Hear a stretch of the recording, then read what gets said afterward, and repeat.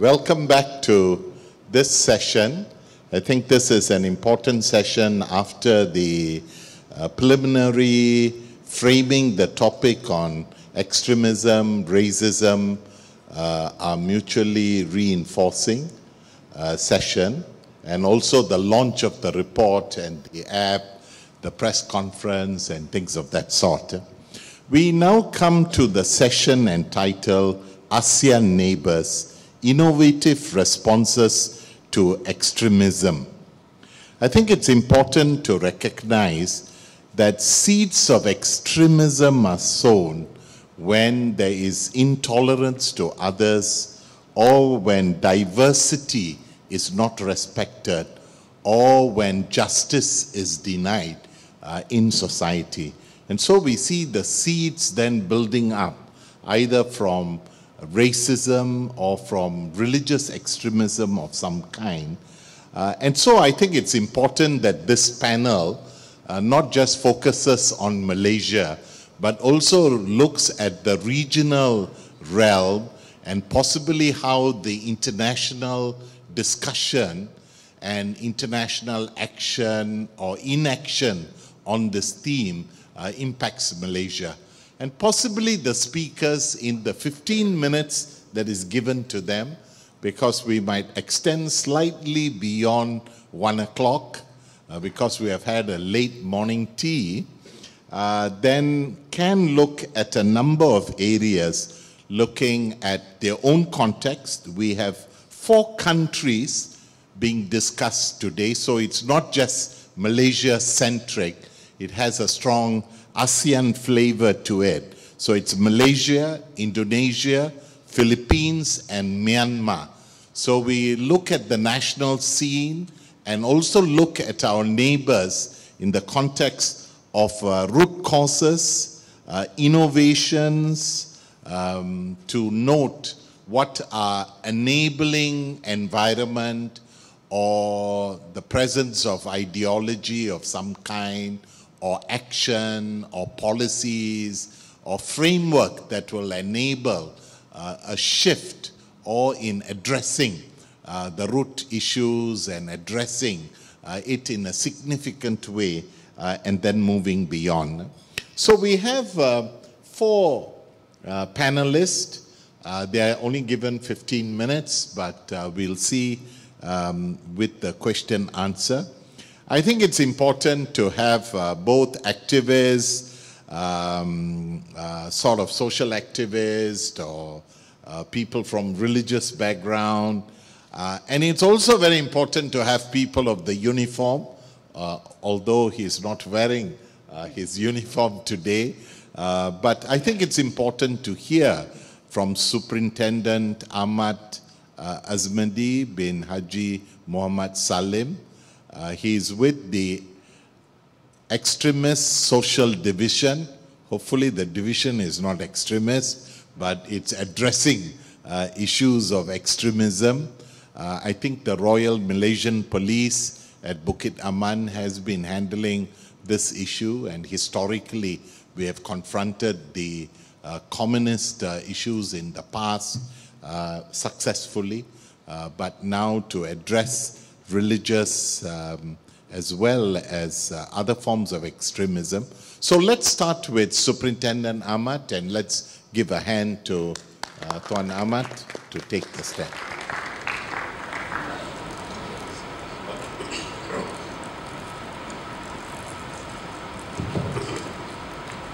Bismillahirrahmanirrahim. Assalamualaikum warahmatullahi wabarakatuh dan salam satu Malaysia. Thank you very much Dr. Denison Jayasuriya as our moderator, my fellow speakers, uh, Ms. Anissa Wahid, Ustaz Ismail Ibrahim, and also Mr. Nicky Daim. All distinguished participants, ladies and gentlemen, I'm delighted to be here this morning on the occasion of the National Conference on Non-Discrimination organized by Pusat Thomas. Let me congratulate the organizer, even though with a very short notice to me, uh, for giving me an opportunity to participate and deliver some point of views regarding ASEAN neighbors' innovative responses to extremism in our perspective of view, especially in terms of security side. So my name is Superintendent Ahmad Asmadi bin Haji Muhammad Salim from Royal Malaysia Police. So the Royal Malaysia Police is the main institution charged the responsibilities of ensuring the maintenance of law and order in Malaysia. So in this respect, the RMP places great importance on the effectiveness of law enforcement within the context of the Malaysian criminal justice system. Apart from the traditional role of maintenance of law and order, the RMP also play a fundamental role in the promotion of the national security in terms of economic, social and political development to Malaysia. So if we see the goal or objective of national security is to protect its core values. For example, its citizen, the government of the day, territory, sovereignty and the ideology. Thus, in a nutshell, the national security of a country is preserved and enhanced if its core values are free from any risk emanating from internal and external threat. So beside the above core values, other contributing factors which are equally important and relevant to secure national security include national unity through a united society, stable political system and sound economic achievement. Even though we understand what the core function of the RMP remain unchanged, policing in the new millennium has changed significantly. Traditional crimes have evolved and mutated into something more complex, sophisticated, and transborder in nature. So the rapid advancement, advancement in information communication technologies has facilitated the mutation of new breeds of crime. In this, globalization has a compounding impact on crime today. So I would like to touch about racial challenges in Malaysia. Even though it's been discussed earlier, but I think in our perspective, racial extremists within the Malaysian multi-ethnic society found nourishment to further their ends in an added atmosphere of external and internal factors. So if you see, we are uh, actually receiving from the colonial, for the past of the colonial. So there's a lot of issues that we need to face and we need to rebuild again to make our country more safe. So the underlying factor in this instance of, is the feeling of resentment between the Malays and the minority ethnic such as Chinese and Indian communities. Each anxious not only to protect what it already has, but to fight for a bigger portion, in particular the nation's economic kick and political power. So where does the struggle came from? Given such a setting in the makeup of the Malaysian society, what naturally followed was a struggle to fight for interests through respective political parties which are largely race-based. I'm not going to in, uh, encroach to the political parties or any other NGOs or whatsoever, but from that issue, the survival of each party depends on its ability to champion the causes of the race it represents. Thus, this pattern of politicking has invariably created a certain extent of uneasiness, particularly between the ethnic groups in the country. Hence, the concept of one Malaysia espoused by the present premiership aspires to strengthen ethnic harmony, national unity, unity and efficient governance. Without unity and loyalty to the nation, in a diverse nation like ours, all our effort to achieve a better life for our citizens will be futile. So apart from above racial differences, there are still potential threat to Malaysian political stability and social harmony. However, in a recent study has shown that there is a decrease of racial incidents report to us, to us throughout the country. I don't know, with the new apps that have been implemented recently, maybe it will become more. But I don't know if they pass it to us. so, so the statistic shows that there were 323 incidents with racial overtones in 2016 until this October, compared to 516 in 2015 and 820 in 2014. Most of these incidents involve Malays and Indians. Most of it, not all, but most of it, arising out of petty dissatisfaction road accident, as well as workplace misunderstanding and some other grievances. And another matter that we found out after the past two general election, when the government cannot retain the two-third majority, so we find out to a certain extent change the political scenario. For the political survival, certain political parties have reported to exploiting sensitive uh, religious and racial issues in their bid to solicit more support. These politicians have time and again made uncalled for remarks. So I'm not blaming them, but this is a part of the system that we have at the moment. So both seditious and sensitive in nature, putting to test racial integration and tolerance among the people. With regard to this, the Royal Malaysia Police has identified 64 flash points throughout the country where racial incidents are rampant due to density, demography and social status of their population. Racial incidents in these areas normally happen out of spontaneous, but if not been controlled, it will be uh, out of uh, control for, by, by us. So because if you find out the purpose of preserving racial harmony and national security, Royal Malaysia Police will continue to intensify vigilance and focus attention especially in these areas to prevent any outbreak and serious racial conflict. But we cannot work alone. We need to work closely with the cooperation of and assistance from various other agencies or government department and also the NGOs. We are, need, are needed to manage this problem. I would touch a bit about religious challenges because it goes similarly and concurrently with the uh, racial issues because it's a part of our life here. Malaysia is no exception from any other multi-religious countries caught in the throes of religious extremism. So if we find out in our own country, we're facing a lot of group that using religious as a part or a tool for them to gain their support and to gain their own objective. But the way they approach it, the organization ranges from the moderate to the radical, from pro-government to anti-government with differing ideologies, strategies and activities entrenched in our multiracial society. Given such a setting, it is natural that the activities of the Islamic religious extremists have had profound effect on our national security. So because of the constraint of the time, I won't, I won't discuss much about the religious challenges that we face, but just to name it, a few groups that we managed to encounter before, like the Shia movement, but it's still in growing, Al-Arkam, Darul Islam, JI, or uh, lots of other groups that we are facing. So the security challenge we have to contend with religious extremism is that although we have contained the activities of the religious extremist movement, we nevertheless are unable to fully neutralize that threat. Domestically, we need to contain the politic of extremism by a certain political party in misusing, misinterpreting and manipulating Islam to its political advantage that could put the stability of our nation at stake.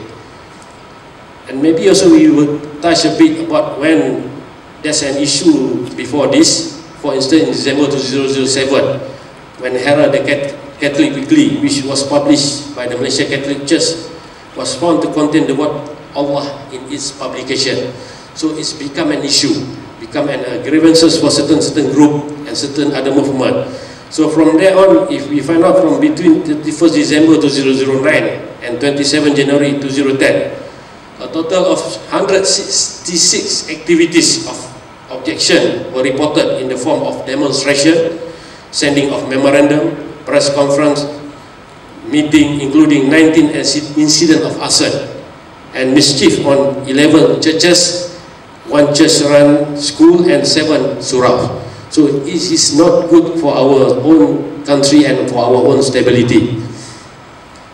Tension among the followers of the different religions escalated, but there were some sensible people from the respective religions who became vigilant to safeguard the various places of worship that may become targets of further arson or mischief.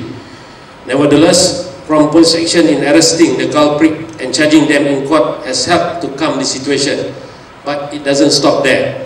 it's still ongoing issues that we need to tackle and we need to handle.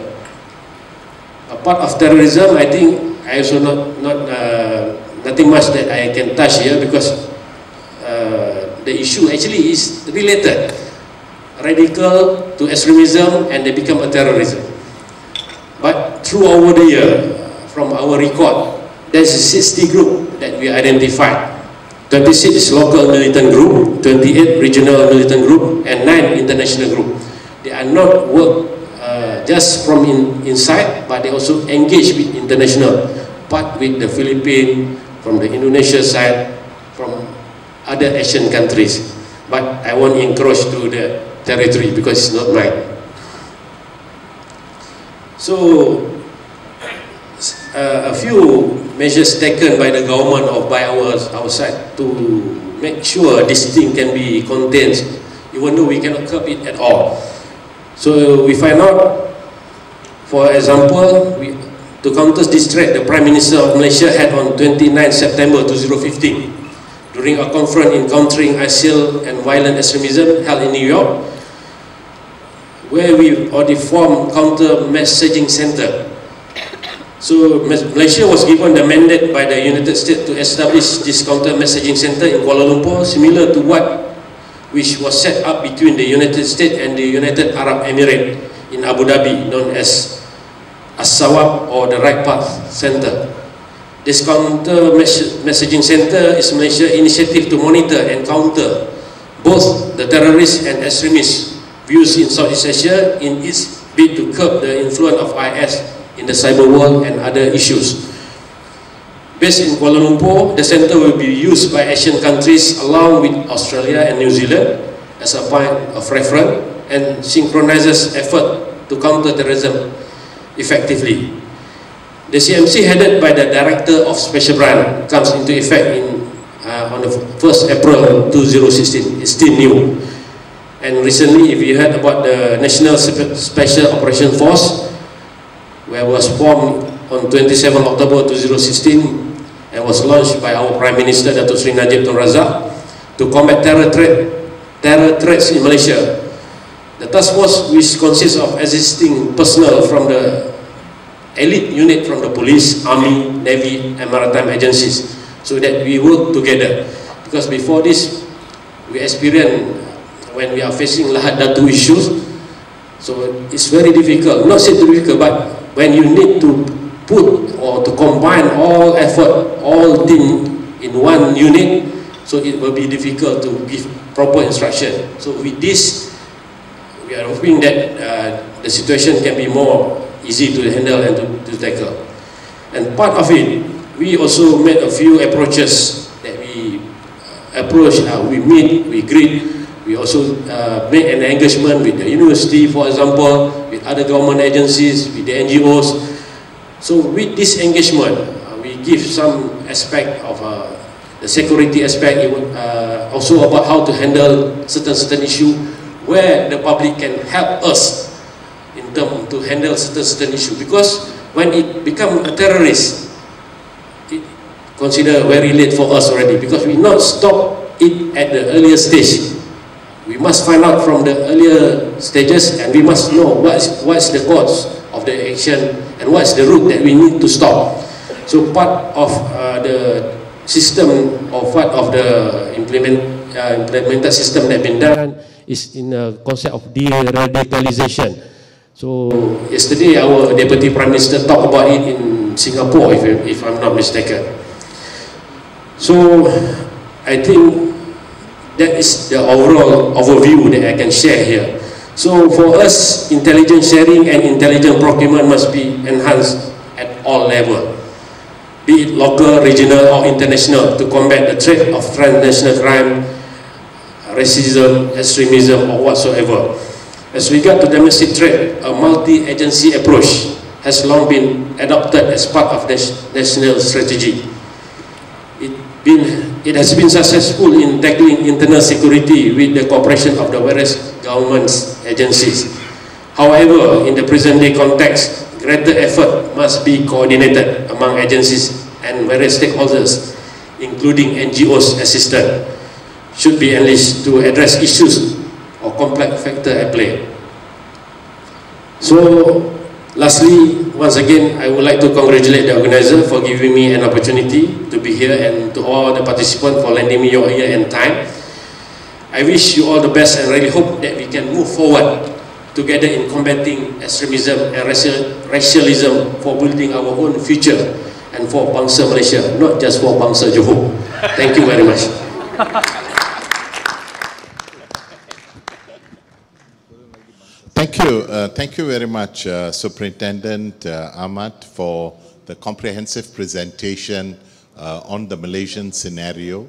Uh, and I'm sure there would be lots of questions uh, to you on various action or inaction of the forces on, on this issue and where do we go from here in terms of working with CSOs and NGOs in addressing uh, some of the significant issues. Now, we'll move on to uh, hearing from Indonesia, Ms. Um, Alissa Wahid. She comes from a very, um, um, very significant uh, heritage and background uh, of uh, the network that she is part of. Her CV illustrates the various details I'm also amazed that you have a master's in psychology, uh, which is an important uh, asset to understand uh, human behavior and the complexities of this issue.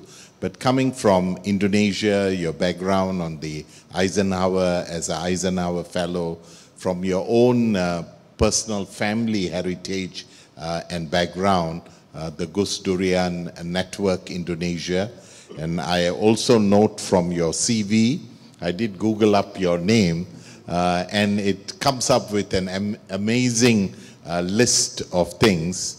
Uh, but one which is very significant is the SDG Ambassador for Civil Society 2016, uh, and your involvement also with the International NGO Forum on Indonesian Development, so moving beyond, and Indonesia with a significant sizable uh, Muslim population um, uh, in and the various challenges uh, and closeness to Malaysia and the Malaysian issues uh, and the terrorist and other forms of uh, issues uh, will help show light to us on our struggles and to see how we can address and what are the innovative approaches that Indonesia is taking to address it at the root cause. Uh, what are action that young people are doing, uh, not just in terms of uh, police action and control, uh, but more from society and people's movement. Uh, over to you. So I'm Alissa Wahid, I'm from uh, Indonesia, and first of all, thank you very much for Pusat Komas to invite me to share with you the uh, uh, the, the, the experiences that the Indonesian, uh, especially the Indonesian Muslim community, has been um, uh, experiencing in combating or tackling radicalism and extremism. Uh, I will start with one quote from uh, our source of inspiration, um, Kiai Haji Abdurrahman Wahid, who is more um, famous for his nickname, Gusdur, hence the Gusdurian network. It's a network of uh, Gusdurian's disciples, and we have thousands of um, social activists working at a grassroots level who believe that uh, who believe in in, in Gusdur's values and Gusdur's, Gusdur's fight, and we want to uh, continue and emulate his work. So Gusdur said that the deep problem is that people use religion wrongly in pursuit of victory and triumph. This sad fact then leads to conflict with people who have different beliefs. This is uh, Gusdur's uh, talking. I am not worried about minorities dominating us. That is born from our own insecurities. Muslims possibly due to historical factors, are often haunted by feelings of defeat and weakness. Uh, moving on toward democracy. Democracy is not only not haram or forbidden in Islam, but is compulsory. is a compulsory element of Islam. Upholding democracy is one of the principles of Islam, which is shura or assembly. There must no longer be anything to differentiate Indonesians based on religion, mother language, culture, and ideology. If today there are people calling Islam bad names, we will teach them that Islam is peaceful. So this, these are uh, his words, and he kept repeating this, um, this uh, perspective when he was the chairperson of the Nahdlatul Ulama, the biggest Muslim organization, when he was the president of Indonesia, and when uh, when he was the uh, leader of the um, democratic and human rights movement in Indonesia. So that's what we're trying to emulate. But let's go to let's uh, see what is the current landscape of Indonesia when we talk about terrorism, we talk about um, you know bombs and attacks, but that's only a, a small part of the problem, right? So uh, I'm using BTI. BTI is Bhinneka Tunggal Ika, uni, uh, Unity in Diversity. That is the slogan of the Indonesian people. So these are the people who are against the uh, Bhinneka Tunggal Ika. And then we have at the uh, first side, that's the uh, fighters or the militant uh, workers, especially uh, the activists that um, promoting and trying to strengthen uh, the Bhinneka Tunggal Ika. But now we have a, uh, we have seen a shift in the mainstream population. The ideas of exclusiveness and intolerance are introduced in daily lives. And this is, this is uh, for us, this is actually bigger problems than terrorism themselves. Yes, terrorism will lead to atrocities, but this problem leads to uh, discrimination in everyday life and civic rights and constitutional rights. It's everyday problem, and it will create a division among a society. So to understand the dynamics, uh, if we want to tackle this issue, we have to understand the dynamics, of course. So to understand this, dyma the, this dynamics, uh, Wahid Foundation, one of the wing in uh, our family, uh, Wahid's family, did a survey on potential social religious intolerance and radicalization in Indonesian Muslim society. Because uh, out of 250 million um, citizens of Indonesia, 205 million citizens are Muslims. So these are uh, the Muslims, uh, the biggest Muslim population in a single country at this time. Uh, and we, of course, although it's not really that radical, it still influenced a lot of people in Indonesia.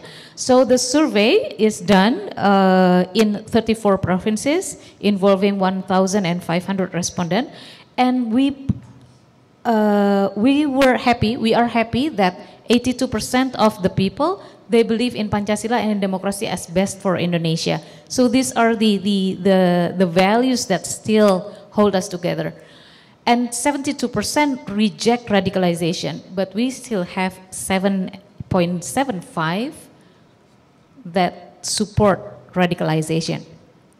This 7.7 uh, percent of the respondents, their characteristic uh, are male, uh, young, they listen to sermons, especially from TV and mosques, and they tend to interpret uh, Islam literally.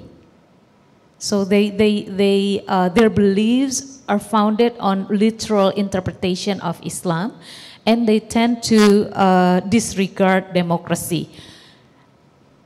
Uh, out of this 1,500 respondents, 62% dislike specific uh, groups, either LGBT, communist, Christians, uh, Chinese communities, etc. Irrelevant factors for tolerance, uh, intolerance is education, income, and residence. So it doesn't really matter if you're living in urban areas or uh, village areas, uh, you can be radicalized. And the last one is the higher belief in democratic values, the lower the potential for intolerance acts. Another survey that has been uh, going on, so this is an in, uh, ongoing process right now. We are doing a mapping of disseminations of violent extremism ideas on the internet. So uh, we look through internet websites, Twitter, Facebook, Instagram, WhatsApp, to learn how ideas were spread. And what we found is the key narrative is single truth. Like uh, single truth is like this: there is only one, uh, one uh, kind of Islam, and this is this way. So another way, another interpretation is wrong. Or we are the true believer and because of that we are in highest uh, position than the rest of uh, humankind. And as such we have to have a bigger privilege. And also the uh, one keep repeated narrative is that islam is oppressed by the world. Uh, remember what uh, Gus Dur said before? It was uh, that this feeling of inferiority and victim thinking it's still, it's still uh, very much um, dominant in, in the Muslim world. So uh, the key messages, these key narratives are uh, detailed into different uh, messages, different platforms. Like for example, if you are targeting the the the um, the female uh, mother female female population like uh, early in, in early marriage, it's rather different than uh, memes that is targeting the you, the, the youth, the teenagers. Uh, I'll show you this one. This one, this ganteng, what is the, the Mal uh, Malaysian word for ganteng? Handsome, yeah? Handsome syari. Handsome syari is uh, rambut uh, the hair, uh, the hair is not uh, kaza, not not um, uh, apa kaza in in in English. Straight. Shape. Oh, shape. Oh, shape. And uh, friendly. You have to have your beard. Uh, you have uh, uh, tidak pacaran, not dating not dating. And also, uh, interesting is about the, the pants, the, uh, what do you call it, the, the, the length of the. This is the kind of memes that try to introduce this, uh, this uh, key message. There is only one, one kind. If you are a Muslim male youth, then you should draw your uh, pants. If not, then you are not Shari. So what happened with the old ulamas who are wearing sarung all the time? Oh, they're not Shari also. uh, and the agitation level uh, at the at the internet, it's from soft to hard. Key terms uh, you know, our, um, our crawling on Twitter, Indonesian Twitter, from 20th of September to October 16, we have found 18,000 tweets containing the word infidels and 12,000 tweets containing the word um, heretics, sesat and kafir. So you can imagine, just in three weeks, three weeks, 18,000 tweets containing those uh, the, the words um, infidels and and so these are the, the the things that you will find on, on the internet, in Indonesian internet. And to explain this, uh, we try to, um, to look at what's been going on through frameworks, theoretical frameworks. And it's for us, it's uh, it's easy to understand the, the, the challenge by using this moral foundation uh, theory.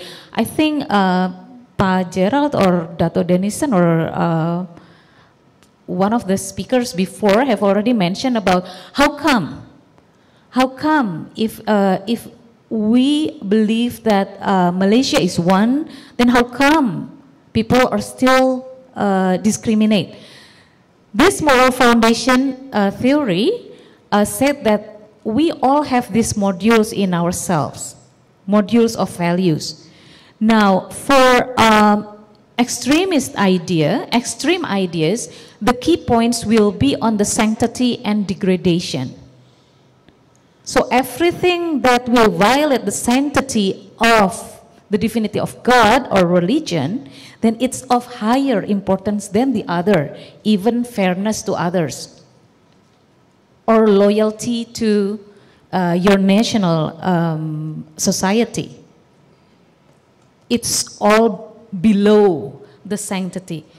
And it doesn't, it doesn't really matter if you have to oppress other people, so long as you are doing that for the gospel of God. That's uh, how moral foundation theory works. And the other framework that we are using is uh, the early warning system. I think my time is already, oh, four minutes left. The early warning system uh, from Rapoport and Charney, we're trying to understand how uh, uh, the victim, uh, victimization happened. Like, for example, in Indonesia, the Shiite came at the same time with the Sunnis uh, introduced in Indonesia, and it was identified before. Oh, those are the Shiites. I'm, I still remember from when I was still a kid living in a small a town. Uh, then the the uh, my grandparents used to say, "Oh, those are the the Shiite," but that's it. There is no campaign that uh, the Shiite are infidels, the Shiite are against uh, the Sunnis, or the Shiites is, is the enemy of Islam, all those kind of things. We're not we're not there. When, when did it start? This, this early warning system help us to understand. So uh, we have these seven indicators that uh, will uh, help us determining uh, in what in what stage we are in and how to uh, how to uh, counter that. But let me go straight to the next one. So this is the, the integrated strategic approach we are uh, implementing right now. Uh, we have the, of course, we start with the resilience base, how to help the grassroots level or uh, at the working at people level. And then we also uh, have to work on the respect base. This is the power of the NGOs and the, especially the faith-based organizations. And the third axis is the faith base. Uh, this is about the uh, not faith-based, rights-based. Yep. This is the public policies, and also uh, most important is the theological framework to counter the uh, extremist ideas. This is not to be left out because this is uh, probably the most um, effective and uh, substantial fundamental fundamental approach you know, if, if the, the module, the moral module that is being used is sanctity against degradation or blasphemy, then of course we have to come up with uh, mainstreaming the, the, the, um, the belief that Islam rahmatan lil alamin or Islam as the blessing of the universe is the key, not Islam rahmatan lil muslimin, not Islam as the blessing only for the Muslims. Because in the Quran, it is said that that is the uh, the, the the God's instruction to Prophet Muhammad. Yeah. So what what kind of innovations that we have? We need to work on the counter narratives, the Indonesian values and moderate Muslim values. Uh, Tunggal Ika Pancasila democracy, as you can see from the, the, the survey, are the mod modalities of Indonesian people uh, and it leads to saying no to majoritarianism. This is a long goal, a long way to go, but uh, we, we started this campaign. And then uh, most important also is to re-strengthen the, the moderate Muslim, Muslim values, especially the traditions and the principles. We need to uh, embrace the online strategies because we're lacking in that. Um, we have to come up with innovative formats and uh, platforms like what has been launched this morning. So in Indonesia, we have Nutizen. Nutizen is a is an app like the one Komas have, but uh, this this uh, this app is actually for the moderate Muslim. Uh, this is a some kind of resource center for the moderate Muslims uh, society. So it it housed it houses the, the recordings of sermons, of uh, writings of uh, moderate Muslims. We also need to engage religious leaders and FBOs, and we are, we are actually, Indonesia is probably blessed with two uh, major mass organizations, Muslim mass organization, that is the Nahdlatul Ulama and the and the Muhammadiyah. Nahdlatul Ulama right now we have 50 million members, and Muhammadiyah, uh, based on the latest survey, is around uh, 12 to 15 million uh, members. So those are huge organization, and these uh, two organizations they have come up with different narratives uh, from Nahdlatul Ulama, uh, we have Islam Nusantara narrative, while from Muhammadiyah, it's uh, Islam berkemajuan or uh, progressive Islam. So this is the one of the campaign of the Islam Nusantara, Nusantara. We want to remind people that we have a long tradition in the history of the Muslims in Indonesia, a long tradition of uh, uh, synergizing the traditions of the uh, indigenous traditions with the values of Islam. This is a Japanese song, but it has uh, uh, Islamic teaching inside.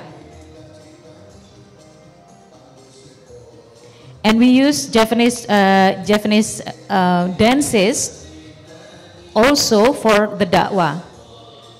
So those are the innovations. So this is the last uh, slide.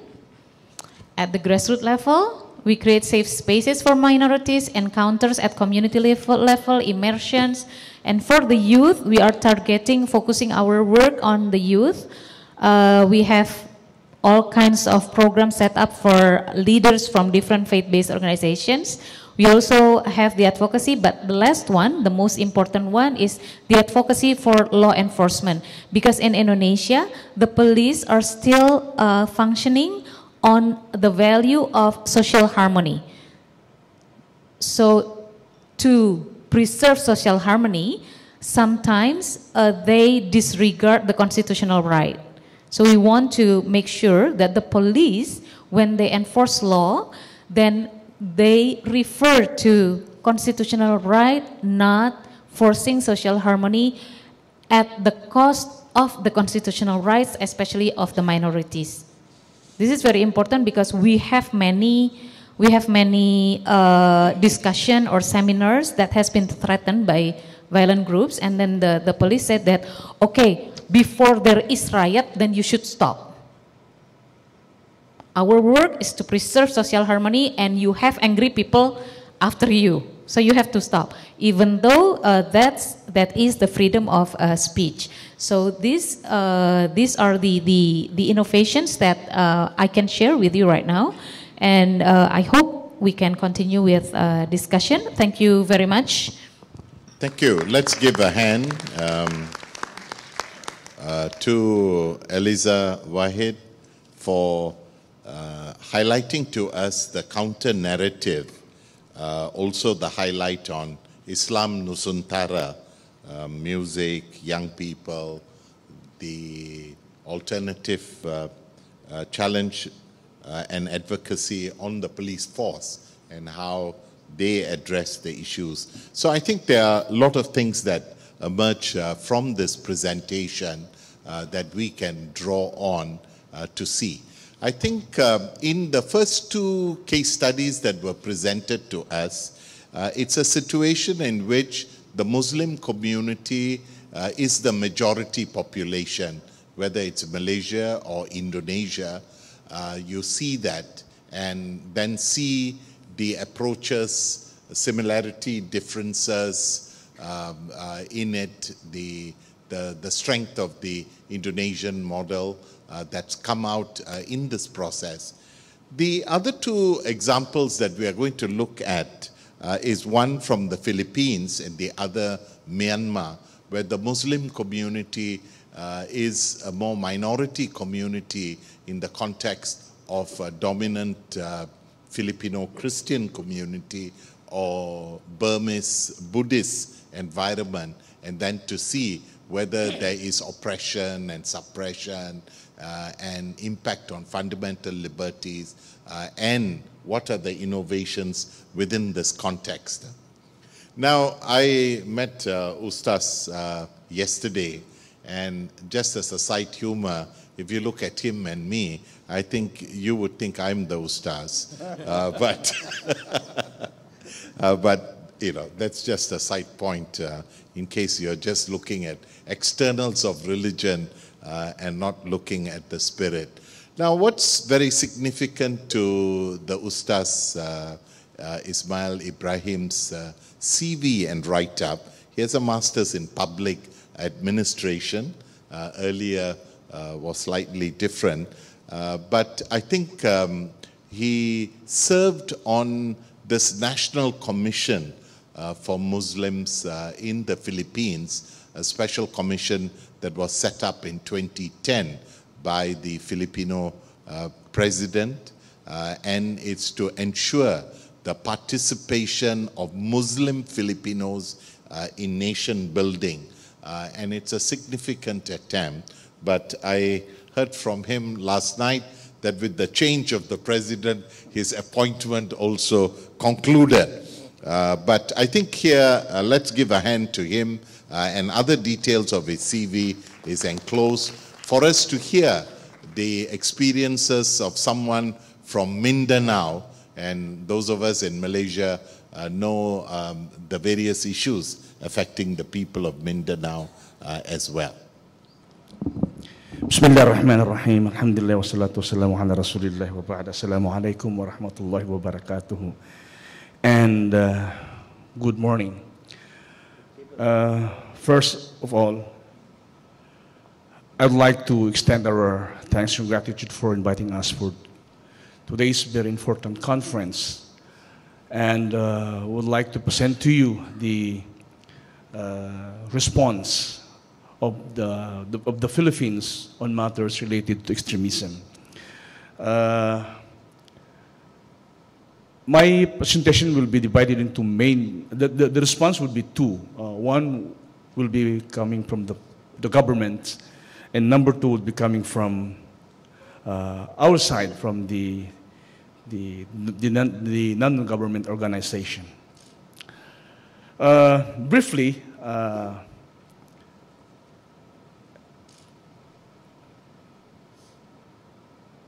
uh, Islam is very, uh, is the first religion uh, that had a foot, footing in, in the Philippines. In fact, if you're going to see the history or the background of Islam in the Philippines, uh, Islam is far ahead uh, from the Christianity for more than 200 years. And uh, these sultanates that could also be attributed to the Malay word had assisted uh, foreign colonizers for more than 400 years, the Spaniards, the Americans, and even the Japanese. And uh, after the long fight against the foreign invasion, and when the Philippines got its uh, independence from the American, and after again a, a, a confrontational a confrontation between the, the, the people of the South and the government, then the President Marcos declared martial law uh, in 1972 placing the Philippines under martial law, suspending the civil rights, imposing military authority, and suspending or the Congress was abolished. Now, the effect of the martial law, as we have learned, is the, the birth of different organization. And in the South, in the Philippines, uh, the birth of the Moro Fronts. This is more uh, led by young youngsters, and the founder was uh, Nur Misuari, and Salamat Hashim was also member, founding member of the Moro National Liberation Front. And uh, because of some differences, Misuari and Salamat had to, to, to part with one another because of some political and ideological differences. And Salamat Hashim had uh, uh, developed or organized his own Moro Islamic Liberation Front, MILF, which the Malaysian government had been doing the facilitation for many years in talking with the, the Philippine government. In this respect, we uh, salute and we give our thanks to the Malaysian government for that purpose, for facilitating the negotiation between the MILF and the government of the Philippines. Now, if you see the, the, the effect of war in Mindanao, uh, there are sources uh, who believe that there are about 100,000 to 150,000 or more the casualties of the war in Mindanao. And some say that 50% are from the, uh, from the fronts, 30% uh, are from the government, and 20% from the civilians. And uh, the total economic loss, uh, if that could only be converted into development uh, assistance to, to the, to, to, the Muslims in the Philippines, is estimated to be 640 billion pesos. Or roughly, uh, it's about 13.3 billion US dollars, or more or less, it's about 56 billion Malaysian ringgit. So that's, for us, it's a big and huge amount spent by the government, spent for a war which was not yet finalized, and no one was a winner between the government and the secessionists from the South. Now, I will not discuss more on the, the, uh, the, uh, the birth of extremism uh, in the Philippines because, one, uh, uh, everybody at least have been reading about extremism and radicalization and terrorism in the Philippines.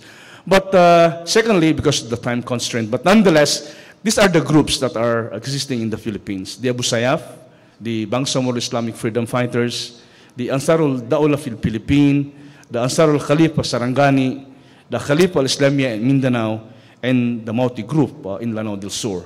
Uh, these are the uh, group that are operating in the Philippines uh, that are espousing for independent Muslim state in Mindanao. Now, I will not, this, uh, I've said, uh, uh, lengthily discuss about them, but I wanted to, to share with you what are the factors that motivated this group. Uh, number one is, as mentioned by Sister Alissa, is the, the narratives of using religion uh, uh, and the unresolved conflict in Mindanao, the failure to pass the Bangsamoro Basic Law, which was facilitated, facilitated by the Malaysian government, the RIDO, or the conflict, uh, family feud or clan feud, poverty, discrimination and injustices, and the poor governance.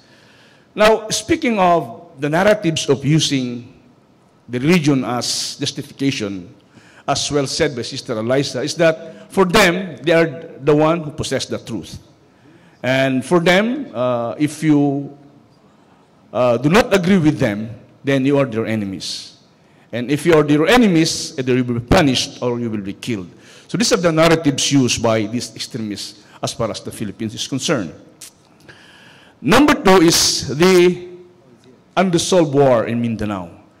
You know, there are a lot of negotiations, there are a lot of peace process, there are a lot of ceasefires, but unfortunately, peace in Mindanao is still very, very elusive.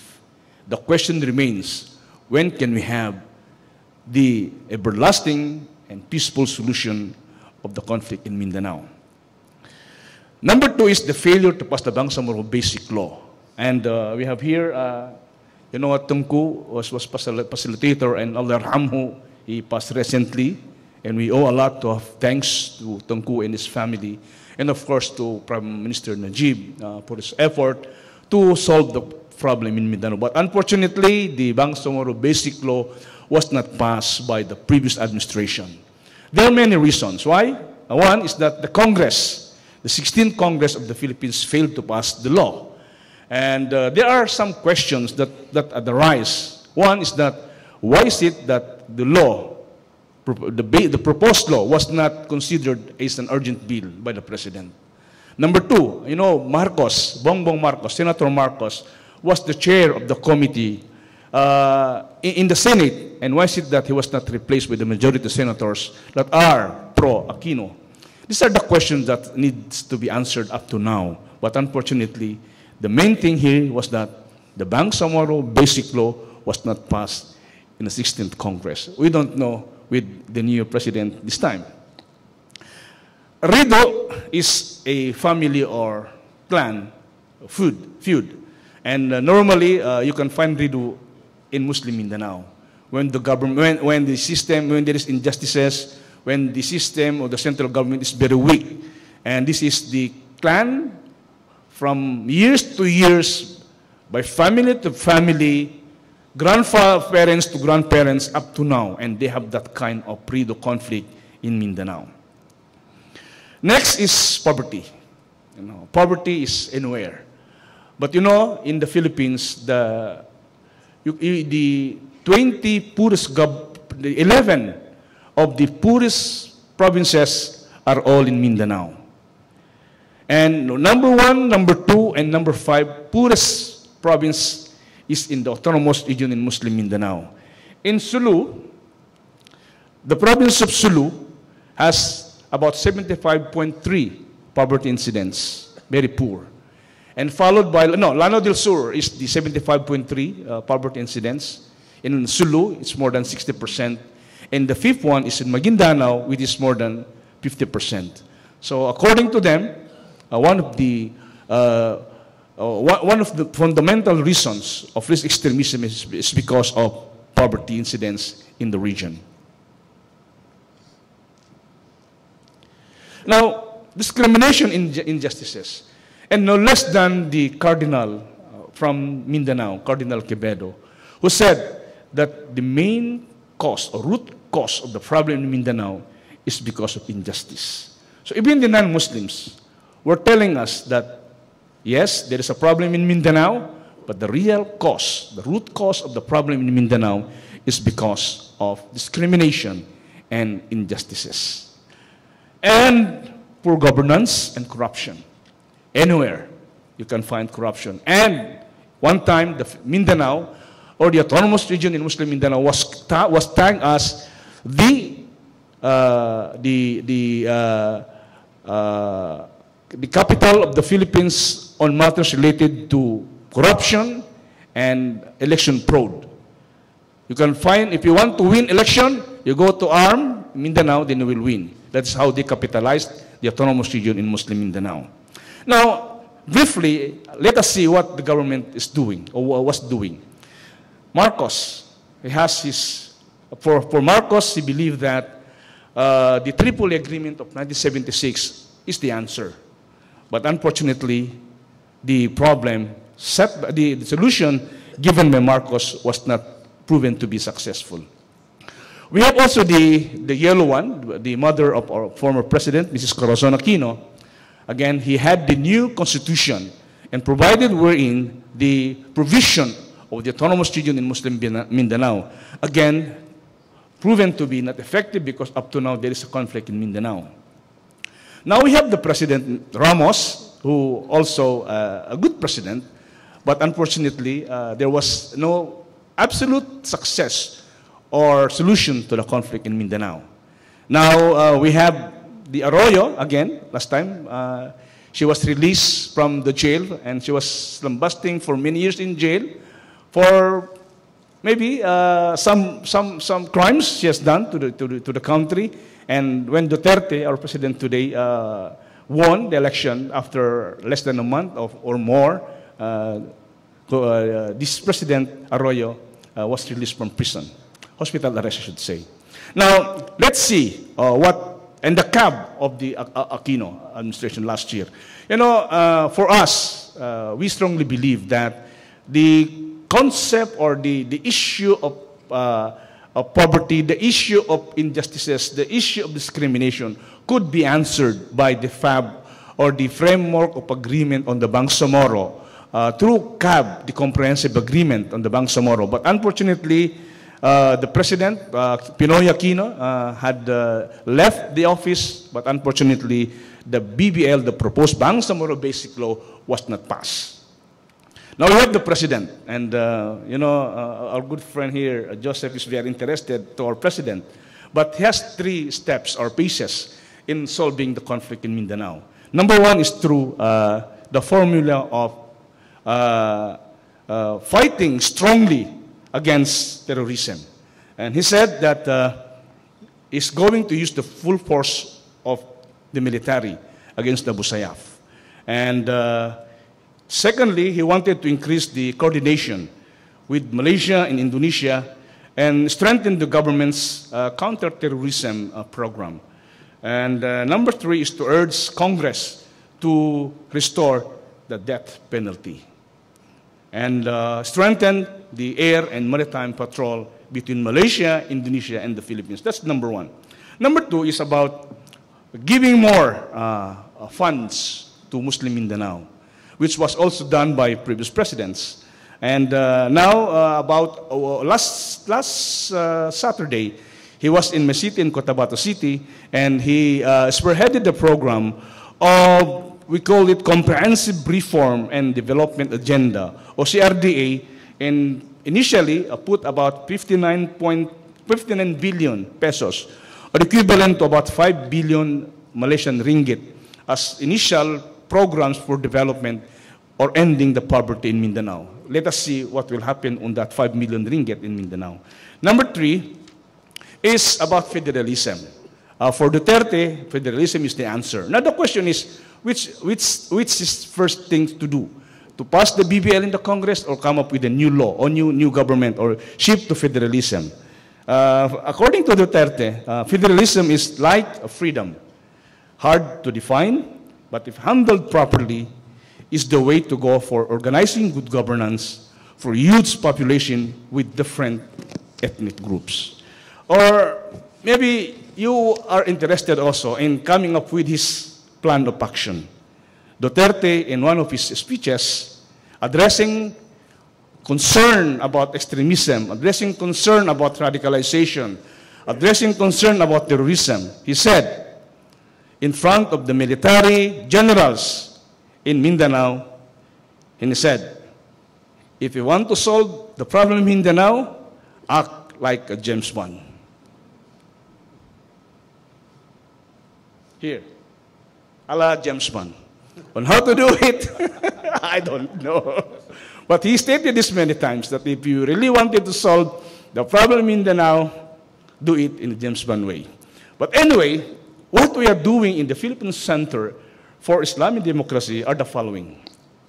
One is we know the, as mentioned by Sister Alissa, the important role of the FBO and the religious sector.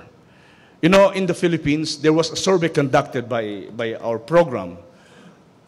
Of all the leaders in Mindanao, the politicians, the governors, the mayors, the media, the businessmen, people had a very strong trust on our Muslim religious leaders. In the survey, it's about uh, more than 60% believe that the trusted group in, in Mindanao are the ulama and ustads. I hope I'm part of them, hopefully. And uh, this is the real survey that we have conducted. Now, you know, in the Philippines, we have the Catholic Bishop Conference of the Philippines, the, the Christian side, and they really uh, make a very strong stance on many issues. But now our president is very uneasy, unfriendly with the Catholic Bishop Conference of the Philippines. And uh, I don't know uh, what are the sentiments of our president, but he's very uh, unfriendly with the CBCP, the strongest organization of the Catholic Bishop Conference in the Philippines. Now, in our effort to solve radicalization and extremism, we have created the uh, National Ulama Conference of the Philippines. And in this conference, we have invited ulama from Indonesia and from Malaysia and Singapore and Brunei as well to witness uh, the network that we have organized, the Ulama Conference, and as, as a medium of uh, giving the right interpretation of what Islam is, the right interpretation of moderation, the right interpretation of Islam, the Quran, and the Sunnah of Prophet Muhammad sallallahu alaihi wasallam. Because if somebody would have different interpretation, then the, the problems arises. But Alhamdulillah, with the organized Ulama Conference of the Philippines, at least we have come up with one nationwide organization addressing the issue of terrorism, radicalization, and uh, uh, empowering the ulama in the region. We have also the program of Amal, uh, uh, uh Action for Madrasa-based Advocacies and Learnings. The word Amal uh, can be written in Arabic in two ways. If you use the word Amal in, in, in Alif or Hamza, Amal means hope. If you're going to use Ain in Amal, means deed or work. So either of the two, either we, we, we use the Amal bil Ain or we use Amal bil Alif or Hamza, these are all for hope and work for the betterment of our people in Mindanao. Now, what are we doing in action or Amal? If you see the, the, the, the slide, we have the peace sector, the human rights sector, the values formation, the good governance and electoral reform, the economic empowerment, the health sector, literacy education and environment. And the Philippine Center for Islam and Democracy is very active in all those sectors that we are working with. For example, I cite an example, in electoral reform, the, the ulama had come up with an agreement with the Commission on Election that we do the advocacy on good election in the Philippines, more particularly in Mindanao. As because in the previous years, in the previous election, Mindanao was tagged as the cheating capital of the Philippines. Again, if you wanted to win election in Mindanao or in the Philippines, then you go to ARMM and you will win, surely you will win. And uh, now we have done this, and Alhamdulillah, the, the, by the blessing of the Almighty, we are able to at least come up with a very strong position that election fraud is not part of Islam, that election fraud is not part of our growing, growing democracy. Now, we have also the common word. And our president, Ms. Amina Rasul, uh, uh, who is supposedly uh, attending uh, us uh, today, uh, had met the, the Pope. And we have a very strong advocacy using the word, the, the, a common word. A common word is already translated in many languages. Uh, in fact, we have already the, the, Malay common word, Arabic common word, of course, the English, and even in Tagalog, in the Philippines, we have already translated the common word uh, in, various uh, local dialects. And we know the fact that this is very, very effective. Why? Because Islam and Christianity believe in strong God and believe in loving our neighbors. Love thy Lord and love thy neighbors. So these are the advocacies that we do using the common word or Christian friends in Mindanao. Now, according to Pope Francis, on common word, he said, faced with uh, disconcerting episodes of violent fundamentalism, our respect for our true followers of Islam should lead us to avoid hateful generalization. For authentic Islam, in the proper reading of the Quran are opposed to every form of violence. And this is the joy of gospel, and it was, it was said by Pope Francis in November 2013. Now, another advocacy that we're doing uh, with the Philippine Center of Islamic Democracy is our Mariam movement. What is Mariam movement? Mariam is, we joined the word Mary in Christian and Mariam in Islam. So we combined Maryam into Mariam movement. And this Mariam movement is basically a, a, a, a movement for our sisters, both Christian and Muslim, in advocating that indeed we Muslims and Christians love Mary, Mariam very closely, and we have no differences as far as our faith to, to Mary or Miriam is concerned. Now, this advocacy for peace or interfaith dialogue is spread all over the country. More particularly, we organize symposia in colleges and universities, specifically targeting the youth about the concept of Maryam or Maryam.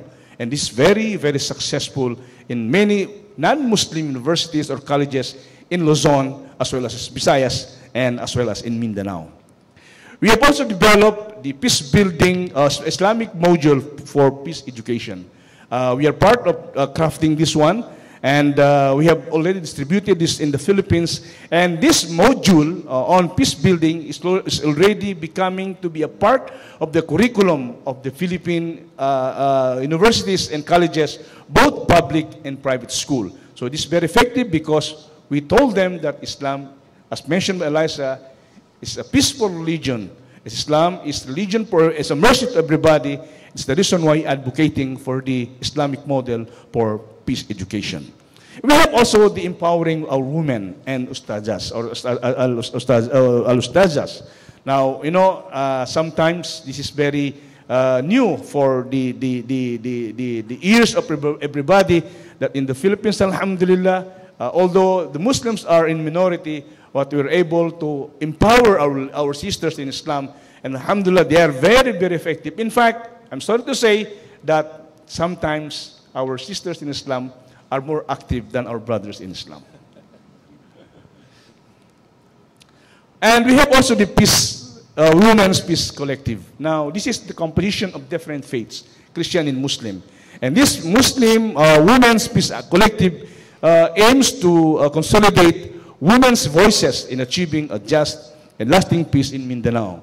And because everybody's tired of war, everybody's looking for peace in Mindanao, now we join hands with our sisters in faith, sisters from different religions to come up with one.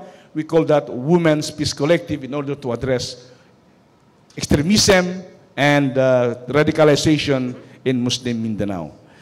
And we have also developed a very new uh, one we call it the Alimat module. The Alimat module is basically uh, related to the activities of our women, our sisters in Islam. And this is something to do with human rights. Uh, and we work very closely with our Human Rights uh, Commission in the Philippines. Uh, I'm sure uh, your, uh, our human rights in, in Malaysia is not like the human rights in the Philippines because our president does not love the Human Rights Commission in the Philippines for other reasons. So, anyway, and uh, we have developed this, this module, and Alhamdulillah, it is now used in many, uh, we, have, we have trained uh, already people from different uh, provinces, and now, now they are very active in advocating the rights of everyone, both men and women, in the context of Islam. And finally, uh, today, peace is within our reach. If we all together work together, inshallah, peace will be achieved. And uh, lastly, uh, we are, uh, I am appealing to everybody so uh, no to join us in praying that inshallah we'll be able to have peace in Mindanao with our new president, uh, Duterte. And uh, we are already tired of war. we are already tired of running. We are, we are tired of hearing the helicopters, howitzers. And what really we need is a total peace in Mindanao for the development of our children and for our future children and uh, for our future grand-grandchildren. Again, terima kasih banyak. Assalamualaikum warahmatullahi wabarakatuh. Thank you. Thank you very much for that uh, comprehensive presentation because you also went through the various root causes, um, including poverty, um, uh, root causes of discrimination and injustice, uh, issues pertaining to governance and corruption, and the unresolved issue of Mindanao.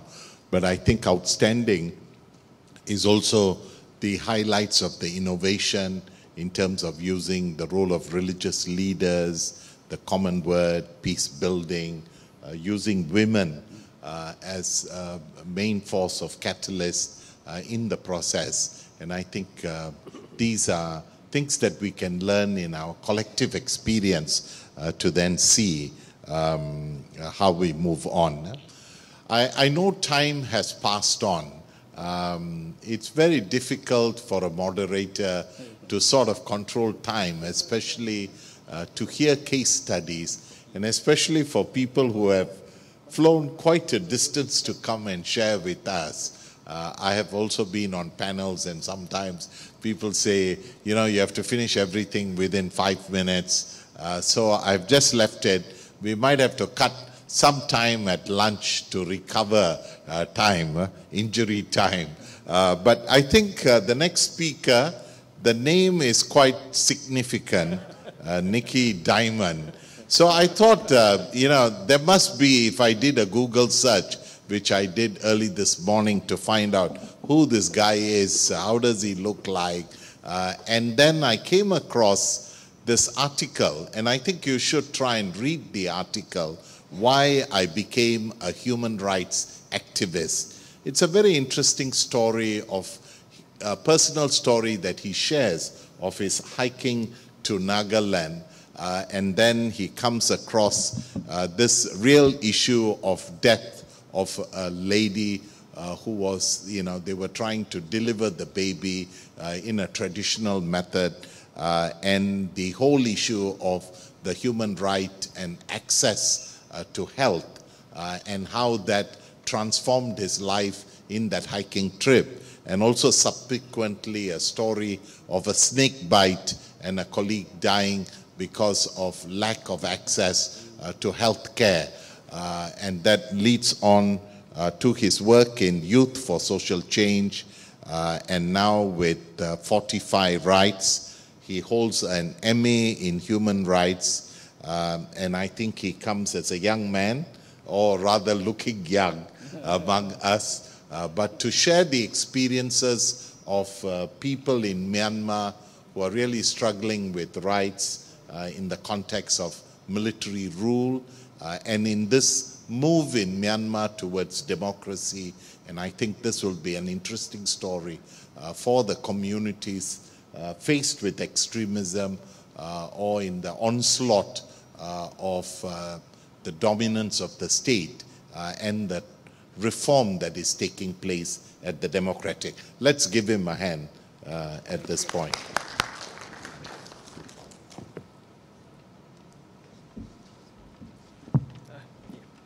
Yeah, thank you very much, um, uh, Mr. Chairman, and um, so glad to be here.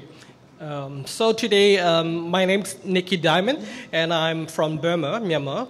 And today, my topics, I'm going to talk about the uh, how uh, military regime, you know, uh, manufacture anti-Muslim settlement and judicial harassment toward religious um, marginalized community in Myanmar.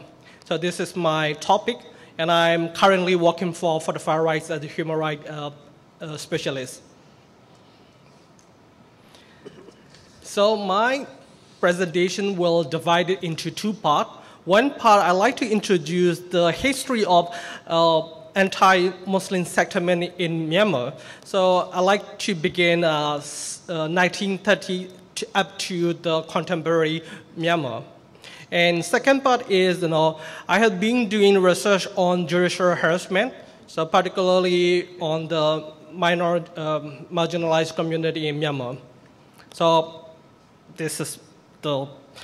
Uh, so of you may not be familiar with the uh, radical movement or uh, nationalist movement in Myanmar. Maybe uh, if you follow some news, you may know the violent outbreak in uh, Rakhine State, October 2012, and also this is huge outbreak. And um, another one is in Meiktila in 2013. So the kind of uh, anti-Muslim violent outbreak. So I try to look at that issue, you know, why we have uh, anti-Muslim settlement. So I trace back to 1930, anti-Muslim settlement under the, under the colonial movement, so quite significant, uh, impacting current deal anti-Muslim movement in Myanmar.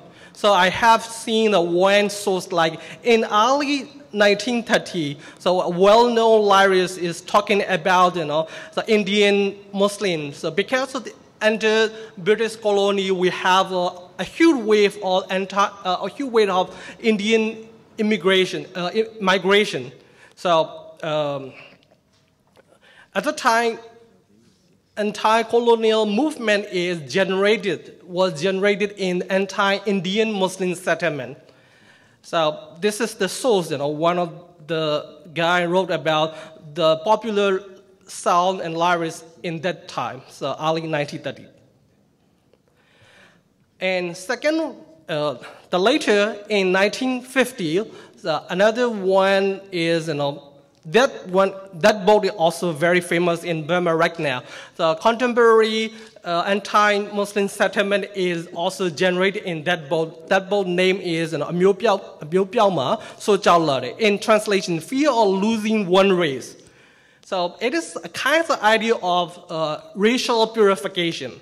So when people try, uh, want to maintain their bloodline or blood purification, so all of the anti-Muslim, uh, the current deal anti-Muslim settlement are generated in that boat. So this is what I see is this is the so-so anti-Muslim uh, so boat in Myanmar.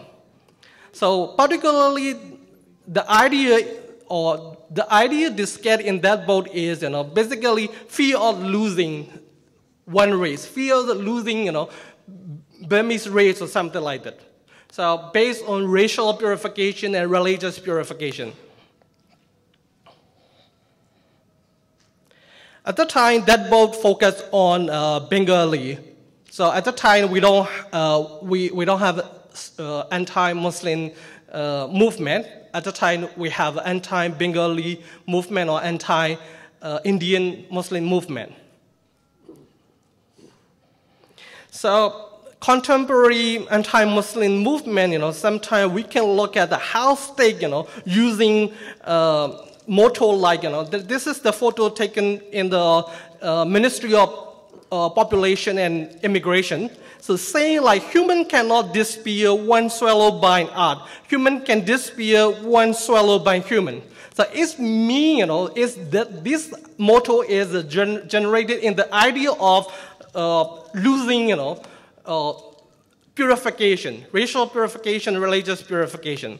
So that was that motto was used in the uh, has been used in the Ministry of Population Home Affairs since 1982, after, right after enacting 1982 citizenship law. So you, some of you may be quite familiar with the 1982 citizenship law, so which debar or which uh, exclude you know, Rohingya Muslim in Burma.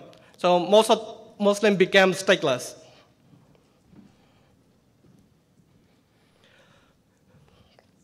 This is the uh, another scholar. Um, she documented the uh, kinds of pamphlet, uh, leaflet, anti-Muslim uh, sermon, you know, during 1996 and 1997.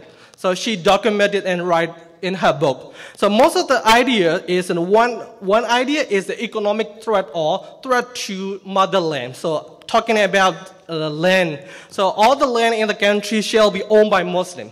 So this is a kind of creating uh, economic threat toward Buddhist society or community. So another one is many, um, so Muslim doing a business and having a profit and they will marry a, a Buddhist woman or something like that, and yeah, talk about the business threat, and also like a societal uh, threat, like you know, okay, Buddhist uh, woman, Muslim man trying to get married Buddhist woman. Sometimes uh, that kind of anti-Muslim movement portray Islam or Muslim always associated with the global terrorism or Islamic terrorism. So that's a kind of idea of generating fear toward Buddhists. Uh, this pamphlet, anti-Muslim pamphlet, was uh, circulated in uh, during the violent outbreak in Rakhine, October 2012. So sometimes, you know, the, the violence is, you know, uh, uh, that kind of anti-Muslim violence, uh, sorry, that kind of anti-Muslim pamphlet is signal to elevate the violence. So these kinds of pamphlet, some kinds of uh, religious sermon have been uh, distributed or circulated right before the outbreak of the violence. So this is the evidence of uh, before. So, um, you may know about the Wirathu, you know, Wirathu deliver his speech in Rakhine, you know, right before the uh, Rakhine violence, and so, which is his speed is like a signal to elevate the violence. So this is the source of how military is uh, manufacturing anti-Muslim sentiment. So that's why I call it institu institutionalized anti-Muslim sentiment. So I have that uh, board uh, document in Burmese version, and also Al Jazeera also have that document and translated in and make an article talking about promotion of Muslim threat in Burma or Myanmar. Uh, that document says uh, whenever military officer or civilian officer in the government have promotion, they have to attend the training. So that training taught those officers with anti-Muslim sentiment. So they are brainwashing people. They are brainwashing um, uh, government employee or civil servant to have anti-Muslim sentiment. So this is the source I, I have that how military regime and how military institution brainwashing people to have anti-Muslim sentiment. Basically, their idea is, you know, fear of extinction of particularly talking about racial purification.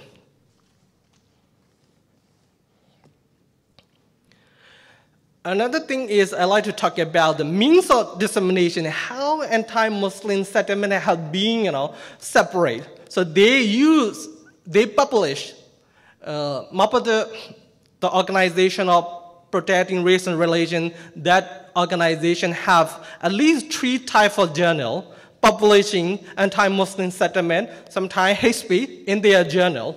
So people who read, you know, their journal over and over again and again, you know, very likely to adapt their ideology, the anti-Muslim sentiment and um, Buddhist nationalist ideology.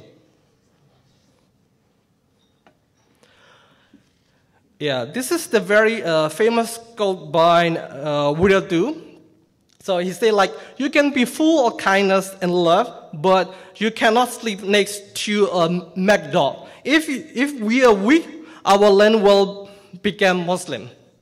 So he is a very uh, significant, and he is a, a kind of uh, religious leader, Buddhist religious leader. So normal, ordinary people, you know, who don't have a lot of uh, critical thinking and understanding, very likely to follow his saying because he, he, is uh, a kind of uh, religious authority or moral authority. So he have that power and position. So I quote or I use the one uh, idea, a kind of the kinds of uh, settlement so happen you know, psychological process in individual and social process in groups. You know. So what I mean is radicalization and radical movement. So individually and society, I mean, uh, the groups, you know, within the community happen.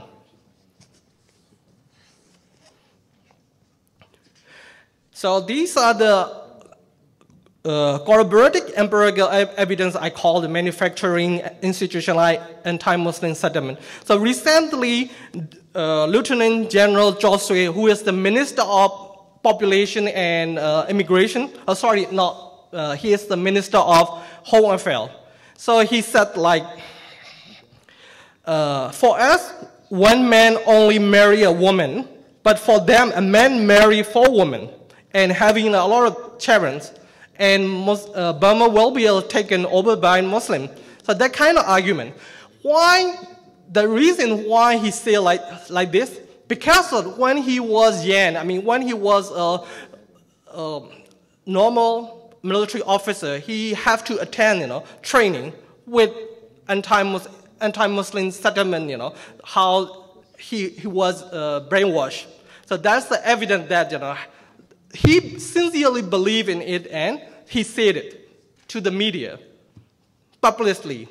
So he had that kind of ideology, that kind of misinformed, you know, uh, anti-Muslim settlement, I mean, military institution, you know, brainwashed their products like this. So another one is the senior general Min Aung Uh, this year, he said like, you know, um, the purpose of military is not only protecting national security, but also protecting race and religion. So it's me, you know, they are manufacturing religious nationalism. So what I say is they are ma manufacturing religious nationalism to, to combat NLD, democratization, and democratic movement in Burma. Another one is recently the chairman of USDP, uh, the Union Solidarity and Development Party, said like, you know, under the, under the name of protecting national security, uh, race and religion, and also if we have a uh, national disaster. So these three main things can justify whatever they need to do or whatever they want to do. So one interesting point is here, under the name of protecting race and religion, everything can be justified, including violence or including you know, anything or violating all the laws, you know, domestic laws or something like that.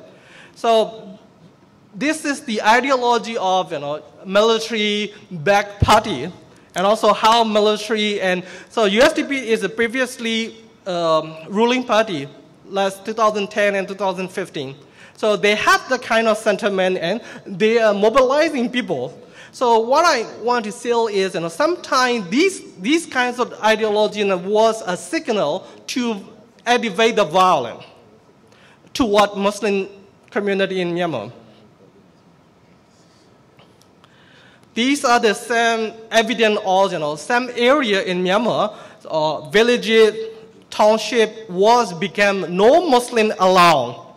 So uh, that kind of radical movement happen in some rural areas, some villages. So we, I received more than a dozen of the kind of poster um, hanging around the some Buddhist um, villages. So opposing of having a very strong anti-Muslim sentiment and Buddhist nationalist movement is you know, gaining a weight. These are some examples so no Muslim allowed. Don't do business with Muslim. So no Muslim, no Muslims are not allowed to marry with the Buddhist woman or something like this. Very strong uh, poster. So if someone, I mean, from Buddhist community having a deal or doing business, so they became a kind of betrayal to um, the Buddhist community. So that kind of, uh, I, I would normally I would say like demonization of Muslim. So by using the kinds of poster and uh, saying, uh, using the kinds of poster, you know, kinds of ways of demonizing Muslim. So to get my long story short, so uh, another part of my presentation is talk about uh, judicial harassment, but I will make it short. Uh, the state manufacture institutionalized anti-Muslim settlement, and on the other hand, they portray, you know, Burma have a terrorist movement and terrorist operation, and then state arrest a lot of Muslims. So I have been monitoring and working on three cases. Like uh, one case is they call Myanmar Muslim Army, and 12, Mus 12 Muslim defendants arrested, and um, Taungyi case, 20 Muslim. Taungyi case is very interesting, like, you know, uh, a family went to Taungyi for sand wedding. On the way, they got arrested, accusation of they connected to uh, Islamic terrorism or something like that. And another one is Abdurrahman. So one defendant is 14 years old. And actually during uh, that family, um, study at the Islamic madrasa in, near, in Mandalay. So during the Ramadan, uh, the school closed and they went back. And after Ramadan end, they came back to Mandalay and to continue their study. But on the way, they got arrested by the accusation of they connected to Islamic terrorism or something like that. And then all these three cases, but we have uh, other cases, but I'm working on the kind of cases right now. So the similar pattern is military, Burma military is portraying we have terrorist operation in Burma in order to have uh, support from West and US to buy military weapon and uh, to get the funding or support from EUs and the West. That's why they are portraying, they are manufacturing anti-Muslim settlement and also portraying uh, that kind of terrorist uh, people, arresting by showing. Also, yeah, so I only have three minutes to cut my presentation short. So I'd like to, uh, from my presentation, I'd like to introduce one possible advocacy framework. So I call uh, how to combat extremism. I see three main actors. One is the government, so government as a whole, you know. And second one is the inter international community. Third one is civil society movement. So these three actors need to be cooperated to, to build a political me mechanism to have a platform work together. So government who have a power, international community who have a lot of resources, civil society working on the ground and connecting with the people. So these three actors need to be work together, need to be cooperated in order to combat you know, extremism and radical movement. So we need that kind of co uh, cooperation and that kind of political platform. So I'd like to conclude my presentation. Uh, military in Burma, military institution and religious institution, manufacture institution alike, uh, Muslim, uh, anti-Muslim settlement, and also under the name of combating so-called terrorists in Burma, they used to arrest a lot of people. So that's a terrible human rights violation. Uh, so legal abuses, access to justice, trial standard, civil liberty, these issues, you know, currently in Burma well Muslim or Rohingya, you know, these people are facing right now. Thank you very much. Thank you.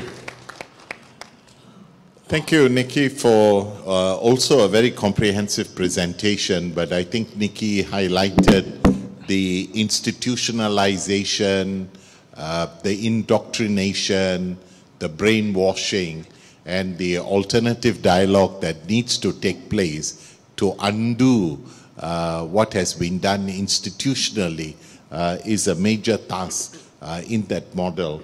But his uh, advocacy framework um, as a suggestion and access to justice and fundamental liberties are ways pointing to the future possibilities, especially for Myanmar uh, in the road to democracy now. Okay. Hi, Name? Um, my name is Amanda Cheong, and I'm a PhD student in sociology and social policy from Princeton University. Um, and uh, my comment is that I really appreciate how uh, Ms. Alissa Wahid drew attention to an increasingly important and relevant platform to uh, the issues that we're talking about today. Um, which is this dimension of social media. And your talk encouraged me to reflect upon how social media provides both opportunities but also challenges to fostering a more tolerant society. So it provides opportunities in that social media um, brings about this democratization of idea creation and consumption, but it also creates challenges because not only does social media provide a space for extremism and hate speech to spread on this new scale, as you mentioned, but also because of the way that um, people are consuming um, media today, it's becoming um, polarized, right? So liberals, for example, are consuming liberal-leaning media and communicating more exclusively with uh, like-minded liberals, which reinforces their views and um, insulates them from contrary ideas and opinions, and the same for people Question, on please, other sides of the. uh, oh yeah, yeah. So. I'm wondering in the Malaysian context where freedom of speech and expression is becoming increasingly under threat, um, how do we strike this balance between um, protecting a free and democratic space for exchanging ideas, but at the same time uh, dealing with the spread of um, extremism and hate speech, particularly on social media platforms? Thank you. Thank you. Um, Alissa? Thank you uh, for um, your question. Amanda, right? Amanda, okay. Uh, so Amanda, I, I strongly believe in what you were saying about uh, how social media can pose uh, as, as a, uh, an opportunity for uh, to engage more and more people towards democratization. In Indonesia, we use social media heavily to influence and even to uh, set some pressures. Like for example, with the use of change.org, we uh, online petitions in Indonesia have been very successful in pushing for for uh, several cases or issues. Uh, but at the same time, I uh, I usually say to uh, in my presentation about social media, I I usually said uh, I mentioned about how social media and internet is capitalized most by the conservative groups. So they are, um, they have more readiness to embrace these opportunities. They have, if uh, uh, if you look at the memes that I've um, I've put on uh, early on, the memes are very uh, creative and uh, exciting to be with and and go straight to your uh, core values like uh, for example humanity or feeling of uh, sentiments or uh, belongingness to a group.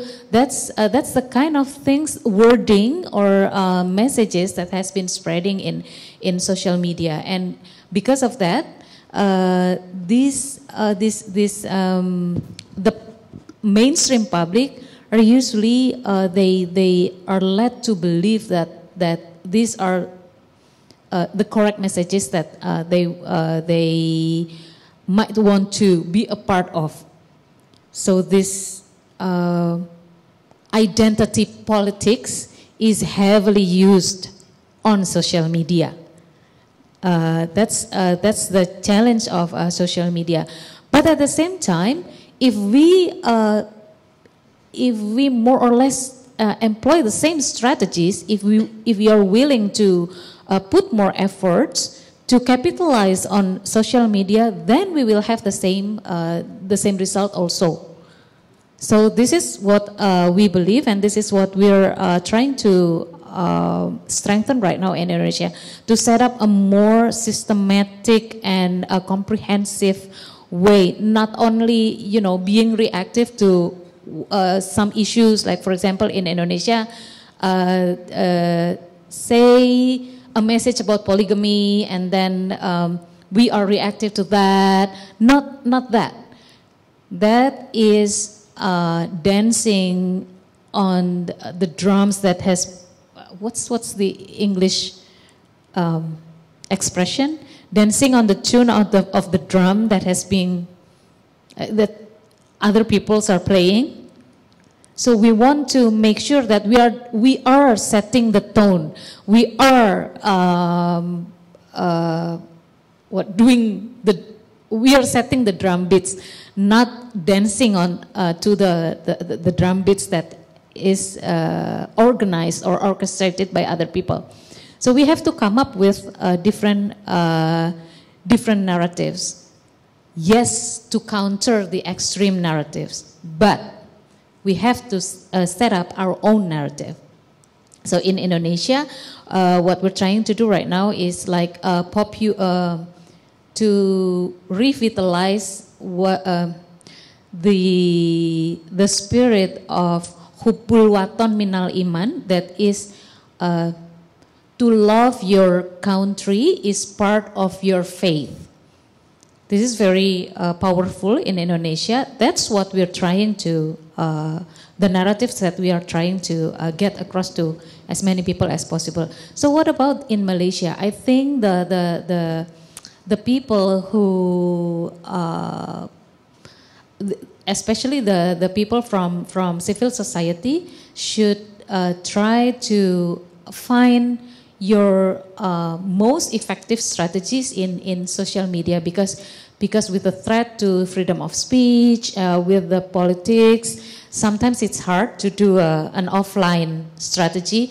But online, you can uh, you can improvise, you can strategize, you can be creative and uh, engage as many people as possible. It's just that it's really something new for civil society organization because it's, you know, uh, we're not used to, to social media or campaign. We don't really believe that change can be pushed through social media. But uh, in Indonesia, we do. So it's uh, really important. And I would suggest uh, friends in Malaysia to strengthen their voice over the social media also. Thank you. Thank you. Yes. Yeah, uh, okay. Um, my question uh, is for any of the panel to take. Um, uh, this uh, is about between religions and politics. Um, do, do you agree with me that religions uh, actually are not created to cause problems, but actually to end the problems? But when religions get entangled with politics, they become like arrows that have veered off target. Um, so the problem is when these arrows of religious teachings that the leaders take from the quiver of the scriptures should be able to awaken spirituality in the followers. But when this target is missed and religion become vehicles for protecting individual interests, problems begins to arise. So do you think that our problem right now in Malaysia specifically uh, and in the world generally is because of the mixing of politics and religion. So should we do away or not do away, what I, I don't mean to do away religion, but to keep religion in the private sphere and to actually politics be politics, no interference of religion. Do you think that may help our situation in Malaysia? Thank okay, you. thank you, Siti. Who else, please? Okay, okay, there. Yes, there's, uh, Karu, come close to the mic. Yes, yourself first with the mic. Yes. Um, my name is Aizat Shamsuddin from Community Muslim Universal. My question is dir directed to Mr. Nickey. As a human rights activist working in a human rights uh, atmosphere, um, what do you think about the process of democratization in Myanmar right now after the Suu Kyi's uh, party just won the election? How do you see that could resolve uh, a, a, religious conflict between um, uh, Buddhism and Mus uh, Buddhists and Muslims, and how that could move on from the coup, um, you know, sentiment of uh, harshness, so on and so forth? Because I see, um, for example, from the BBC interview with Suu Kyi's how she's very reluctant to denounce the ethnic cleansing that's happening in Myanmar. Thank you. Okay, thank you. Yourself, Gent. My name yeah. is Pravin. I'm from Sayana Bangsa, Malaysia in Australia. My question is to Superintendent Ahmad Asmadi. Superintendent, thank you for your views. Uh, such discussion with uniformed personnel is always reassuring, so thank you. Some might say your views are comforting in contrast to the UMNO President, Dato Sri Najib Razak, who was reported to have praised the bravery of ISIL fighters in 2014. In your view, how is it that extreme ideologies uh, seep into multi-ethnic, multi-religious Malaysia, such that as many as 26 extremist groups have been identified domestically? Even if there is external influence, why is the mindset locally able to accept these extreme ideologies. What is causing this and what are we doing to address it? Thank you. Thank you very much. That's going to take a whole day to answer, but uh, we will try. Yes, final.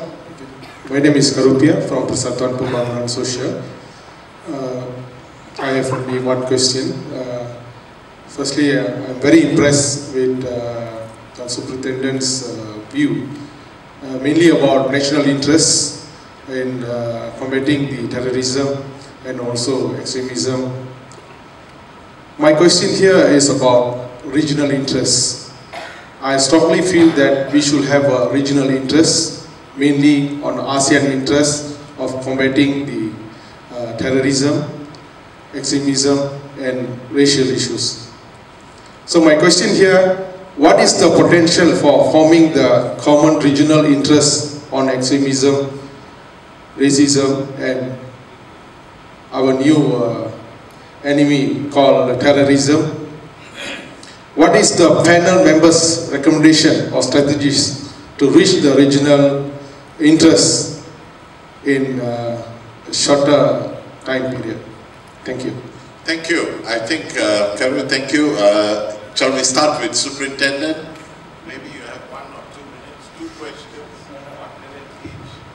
Thank you for the question. It's quite tough for me to answer, but I got two counterpart here that, maybe can help me if I'm not answering it properly. The first one is about the extreme ideology, isn't it? So there's so many factors if you want to discuss it here. But the grievances that happen to many of the extreme group, because it's, it's actually going for term of process in what group and in which society that they belong. So it's become a one process, maybe affecting of uh, Islam versus Christian, for example, East versus West, political of hatred. Uh, you talk about jihad. For example, I quote uh, one quotation that been given by one of the prominent JI leaders, uh, Abu Bakar Bashir. Uh, maybe I have to look what is he said here.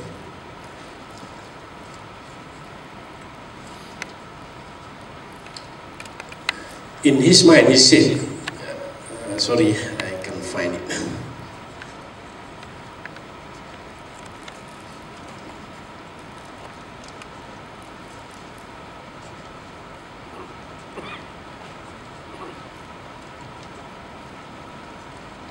Okay. That's what Abu Bakar Bashir said before. He's uh, preaches to so many groups. And what he said, I'm only a craftsman selling knife. I'm not responsible for how those knives are used. So it's a very simple word when they talk about jihad, for example.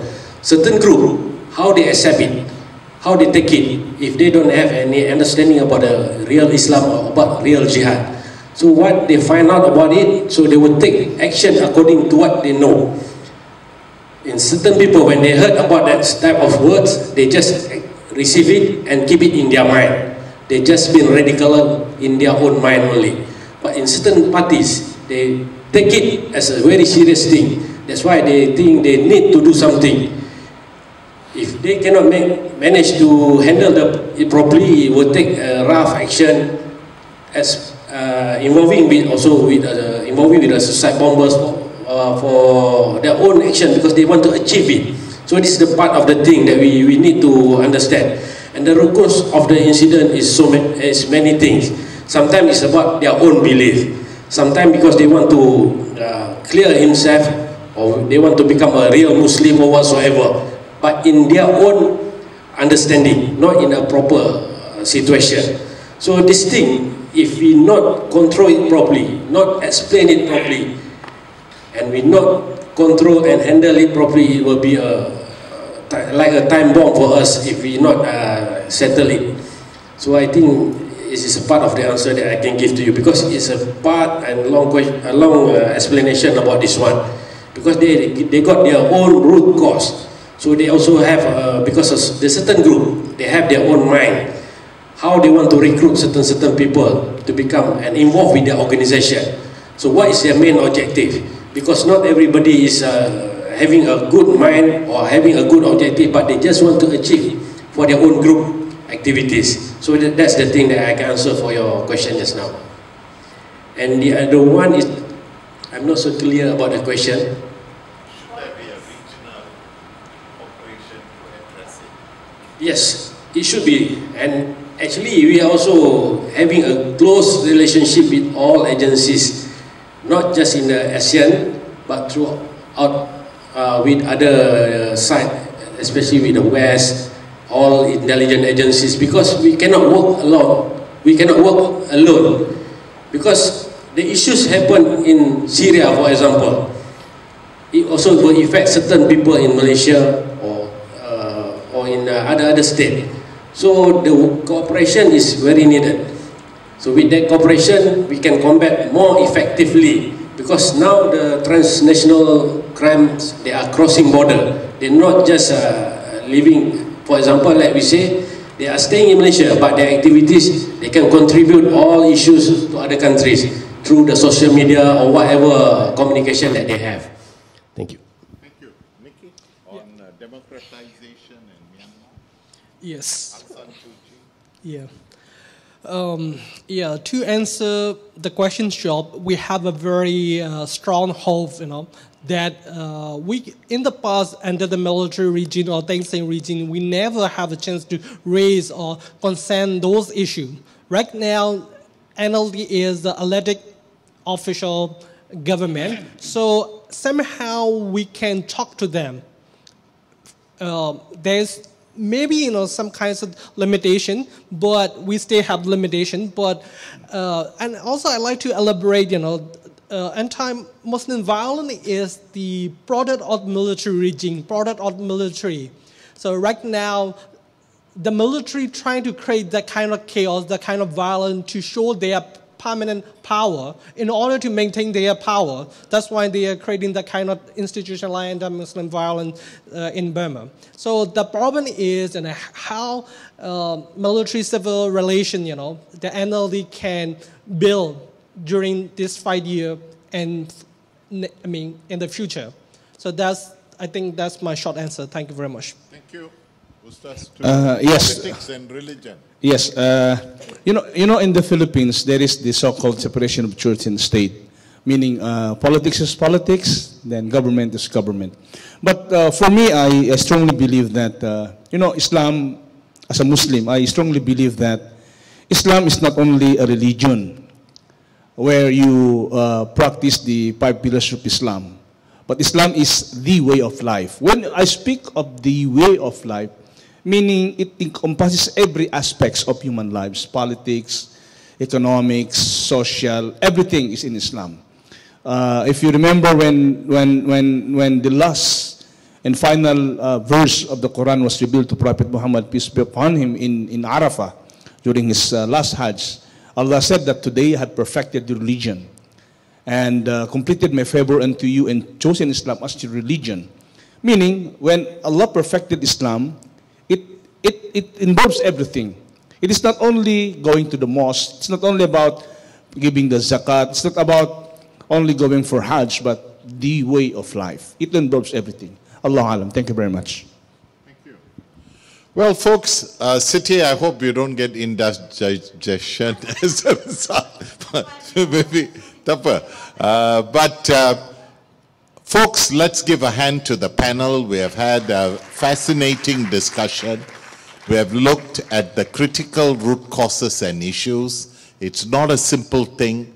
We look at countries that are having innovative action, especially Indonesia and also the Philippines. The struggles in Malaysia and especially Myanmar uh, are real uh, in all these regions, but there are good examples that are moving beyond.